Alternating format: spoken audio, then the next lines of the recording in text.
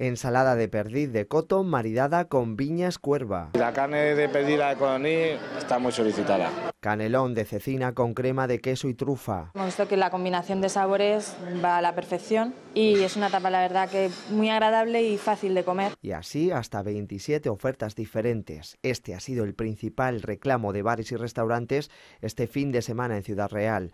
Y es que la carne de caza sigue llamando la atención de los paladares más selectos. Sobre todo de caza mayor y caza menor, la perdiz, aquí no puede faltar nuestra fantástica perdiz roja, tanto escabechada como estofada, el lomo de ciervo, solomillo de ciervo.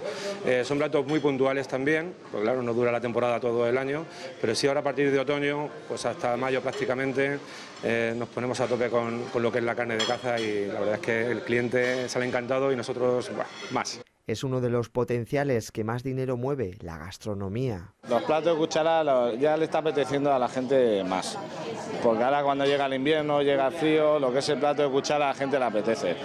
Sobre todo acompañando carne y patatas, pescado y patatita, a la gente le gusta.